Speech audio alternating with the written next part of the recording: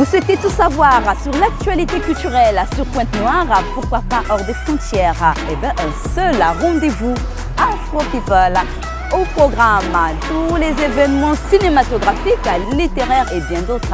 Et surtout, beaucoup plus d'infos sur les arts, tous azimuts. Afro People, votre magazine bimensuel à retrouver désormais sur MCRTV.